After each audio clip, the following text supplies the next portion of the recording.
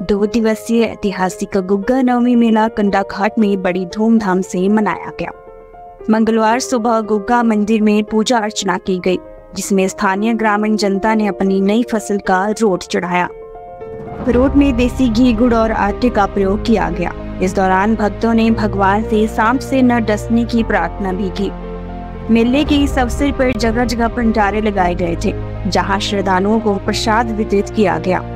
मेले की मुख्य आकर्षण थी कुश्ती प्रतियोगिता, जिसमें 120 किलो 90 किलो और 75 किलो वज़न वर्ग के पहलवानों ने भाग लिया। कुश्ती के इस भव्य आयोजन में पहलवानों ने अपनी ताकत का प्रदर्शन किया और दर्शकों को रोमांचित किया। इस मौके पर नगर पंचायत कंडा घाट के उपाध्यक्ष मनीष सूद, अशोक, मनीष शर्मा, रामेश्वर शर्मा सहित कई गणमान्य लोग उपस्थित थे।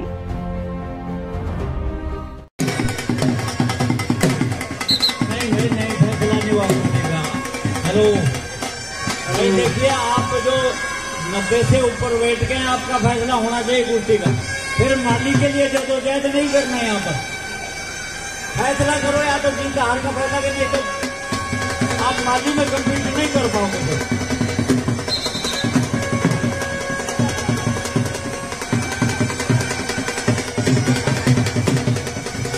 तो hello hello hello.